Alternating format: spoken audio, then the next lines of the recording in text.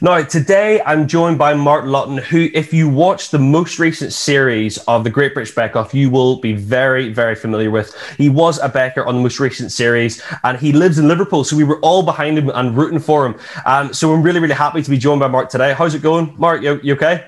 Hi, Josh. Yeah, I'm good. Thanks a million for having me. Excited to be chatting to you. Yeah. Yeah, yeah definitely. So obviously we, there's quite a lot to talk about. Um, you've got obviously we, I want to I want to talk about the Great British Bake Off, which must have been an incredible experience, and also you you've just launched a new project that I think you know would be really really cool to talk about too. So so let's let's dig right in then, shall we? So first of all, I think everyone wants to know what was it like to be on the Great British Bake Off. What was it like? I mean, it was a bit of a whirlwind experience, really. I had, um, you know, it was so it was filmed July, August last year, so it feels like all not a distant memory at all. It feels like it was almost yesterday, but it was yeah, it was quite a while ago. And you know, I found out I was going to be on the show in around March time, and obviously with all of the sort of lockdown restrictions and everything going on, I wasn't really sure if it was going to happen. To be honest, I was sort of questioning, right? Well, I've got myself on uh, the Bake Off somehow. Is it actually going to happen? You know, it was sort of like, yeah, wondering about whether it was even going to go ahead at that point. Um, and then suddenly it all just happened, and we ended up in this sort of bubble together with all the other contestants and, and the, the, ca- the crew and the cast and everything.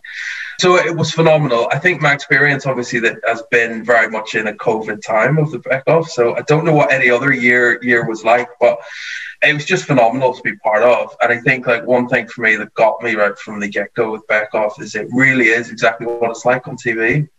Really? Um, and that moment walking into like the tent for the first time, um, it was incredible. I mean, it was quite, it was almost quite emotional, really, going in and seeing sort of all the benches set up and seeing um, where you're going to be baking for the judges and things. Um, yeah, it was it was incredible. So the whole the whole thing was exactly like I expected it to be, and, and even better to be honest. And what was it like, sort of, when you got that that final call to say, "Listen, like you've made it, Mark, you've made it onto the Bake Off." What was that like? The call came on the same day that we sort of all went into lockdown. Um, so it was definitely quite mixed emotions. It was excitement, but you know, definitely feeling like it wasn't going to happen. Almost, you know, like um, I was like, well, how on earth would they do any of this? Or and I think also it was around the time as well that there was you couldn't get flour anywhere, you couldn't get sugar anywhere. It was a nightmare from a baking perspective. So I was like, how are you ever going to practice any of these types of things? I remember getting the phone call when I was in, in the living room upstairs. I think it was the first day working from home, and the phone call came through, and I think I just expected that that was it. I don't I don't know why, but it almost sort of accepted the fact that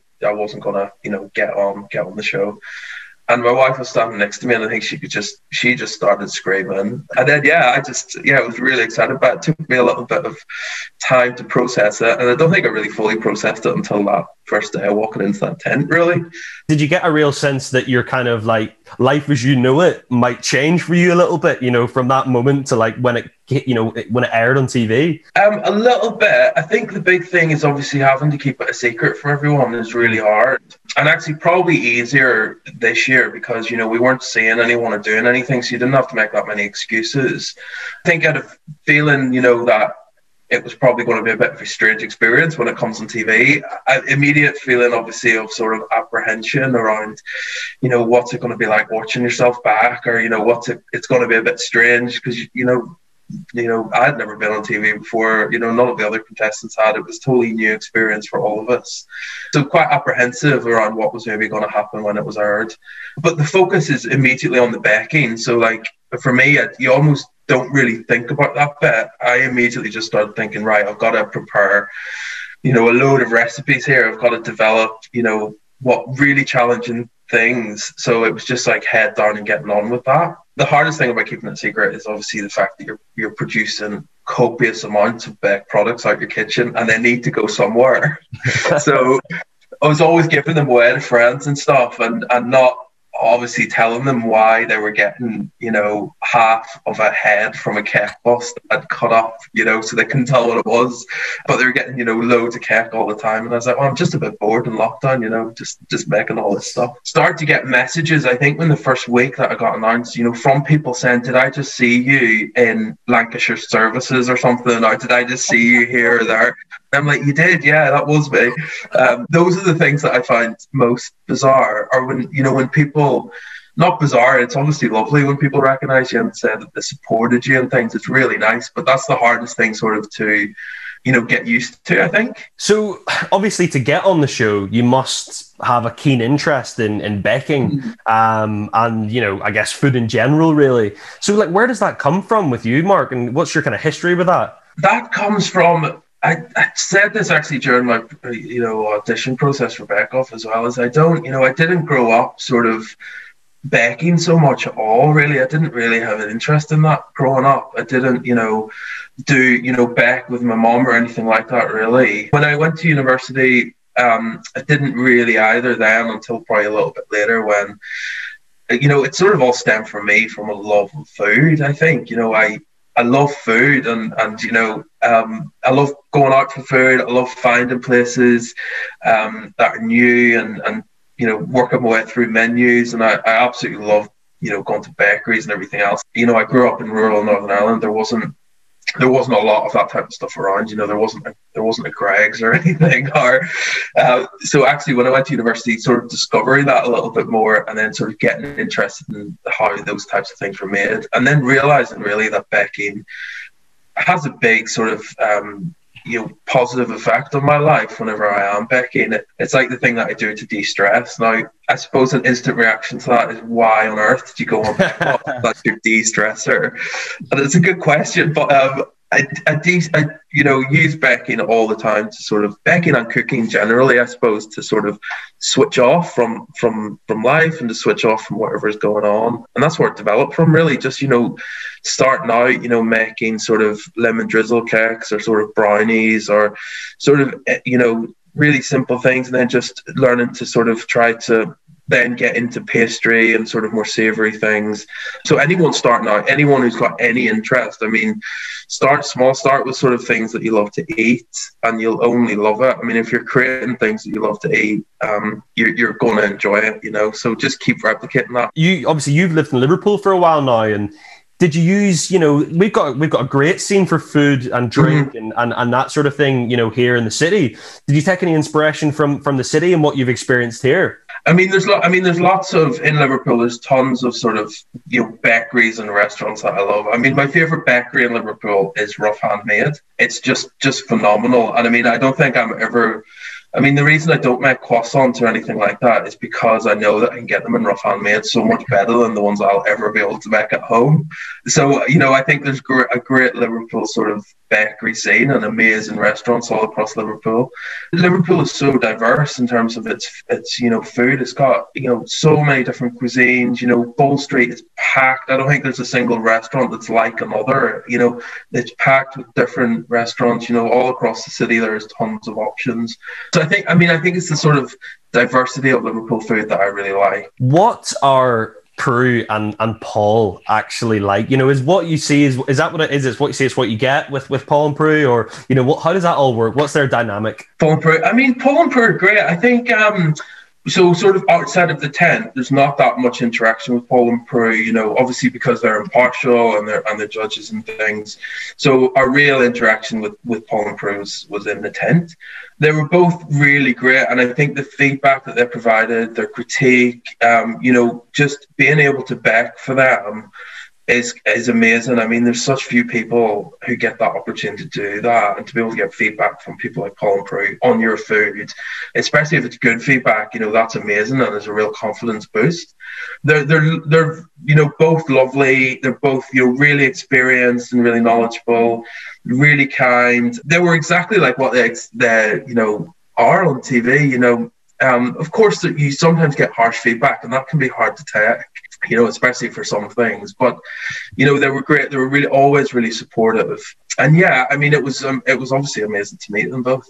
And then obviously I, I, need to ask about um, Noel and Matt as well. I mean, sometimes when I'm watching it and I see those guys sort of interacting with with with the likes of yourselves and the other bakers, I sometimes think, are they getting in the way, or is it all a bit of fun, or like you know, what is it like, sort of um, having those guys sort of peering over your shoulders and coming for a chat? Sometimes they get in the way, but it's very, it's not, not very often that that happened. I mean, and uh, if they came over at a tough time or something, or you know, you really needed to concentrate, or you know, it was maybe the time was taking along or whatever, then you know, there was one time I said to Matt, I was like, "Oh, can you come back in ten minutes or whatever?" And he was like, "Oh yeah, I'll come back."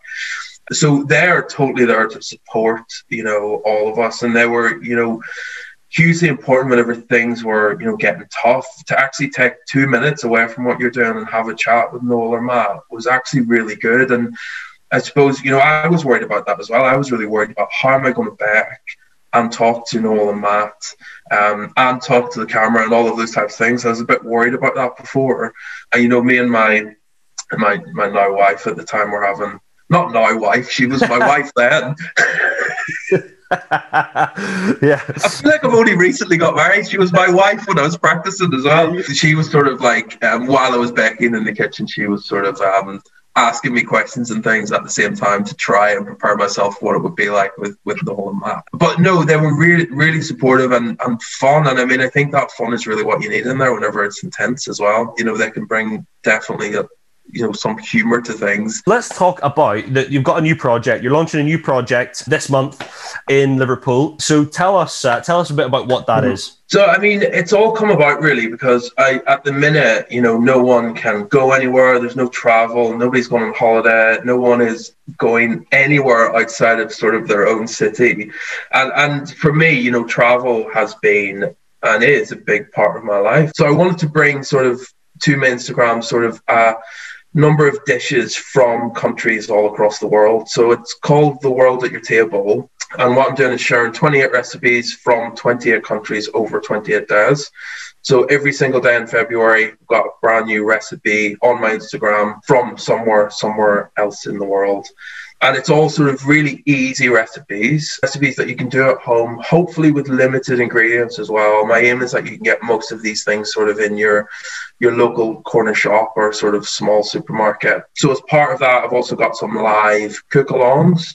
One of the live cook-alongs I have as well is with Maray, uh, with James and John from Maray, who are going to show show me and everyone who wants to join how to make their famous disco cauliflower. Now, I have to say, if I could pick one dish in Liverpool that I've missed the most during lockdown, it's probably Maray's disco cauliflower. So um, I'm really excited about that. I've got other lives sort of planned for sort of later this month as well. Why is it so important for you now to, to do this project now? I think right now there's just there, you know, how many walks can someone go on in a, in a week? I think that's what I'm feeling. I'm like, I just can't go on any more walks. I mean, I need something else to do. You need something else to focus on. You know, I've been, you know, focused on sort of doing this, and you know, it's been great to do that during lockdown. I think the first lockdown we seen sort of like a mass massive rise in sort of people buying baking ingredients. You know, the sourdough starters were developed. You know, banana breads galore. The thing motivation in sort of the, this third lockdown is definitely diminished just generally. I think, and you know, I feel it. You know, I feel a huge.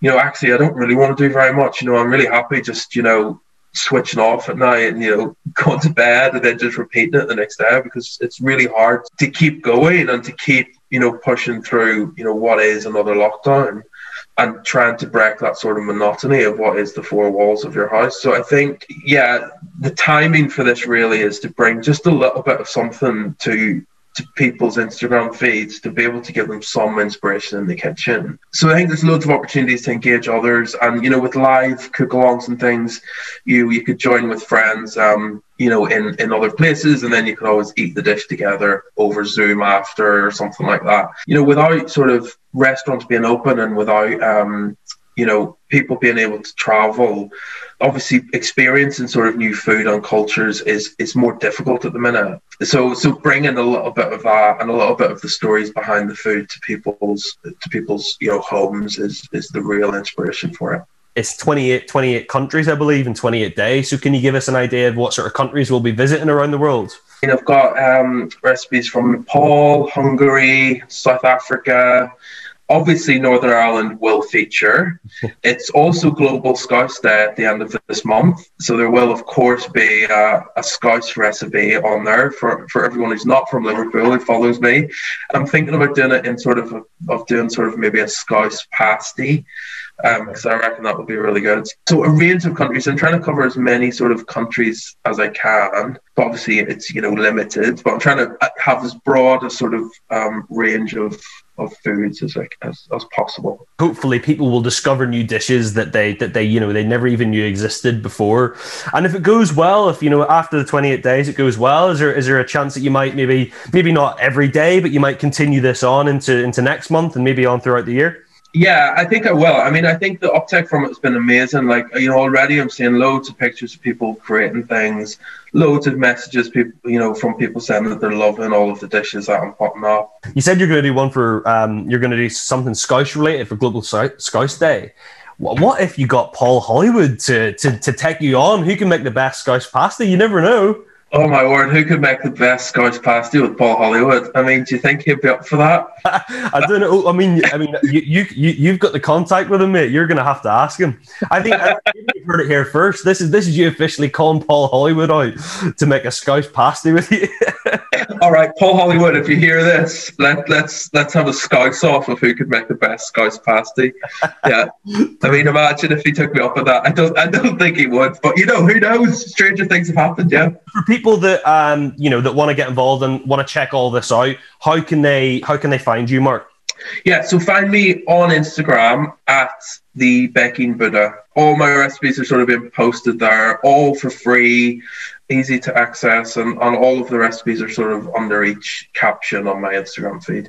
So there'll be sort of predominantly sort of baking related things, but also lots of sort of cooking too, um, and also some drinks involved as well. Good, sounds good. Yeah, and and like you said, obviously we're we, are we are into February now, so people can go back and and see the, the the recipes you've already posted. Then I guess. Yeah, absolutely. So yes, go and go and have a look at all of those previous recipes. So it would be amazing to get people in the city involved and you know baking and cooking along to it um, as a way of sort of trying some new things and, and getting involved. Yeah, listen, it sounds it sounds sounds amazing, and and hopefully, you know, for anyone that's watching this, definitely get involved and tag you in. I guess get some pictures up, tag you in, and and let's see what everyone can make. Let's see if people can replicate your your recipes. This is sort of the start of things, you know, because you you know if you see a recipe on my page, you know, go and have a look at other recipes that you know maybe do the same thing or slightly different, and and feel free to sort of play around with things and, and make them your own. If you're an, an a sort of new cook or a new baker, I promise you that you'll find something on there that is right that is right for you to try. So so go and have a look and tag me in all your questions. I absolutely love to see them. Great, great. Listen, um, best of luck with it all, Mark. Um, I'll certainly, I think I'm going to have to give something a go now. I'm going to have to give one of these dishes a go and, and tag in and let you know how I get on. Hopefully, you'll you'll continue on and, and keep inspiring people to to cook um, in and around the area. And uh, yeah, it was really, really great to, to catch up about the the Bake Off and, and your experience there. It sounds like it was a you know a real life changing kind of uh, once in a lifetime experience. In fact, it was, um, yeah, and, yeah. Uh, I did ask if I could apply again, but I don't think I can. So it is once in a lifetime, unfortunately. Yeah. Yeah, maybe they'll have like a like a kind of um, an all stars type um, you know series where they bring the, the best of the of the bunch back um, uh, to, to have a go. If so, we'll make sure we get your name out there. We'll get you. Please, yeah, please, I'd be up for that definitely. Yeah, get a petition on the go. Yeah, nice one, perfect. Uh, listen, Mark, thanks very much. Cheers thanks so much, and all the best. Nice one. Yeah, no, thank you very much. Really lovely to chat.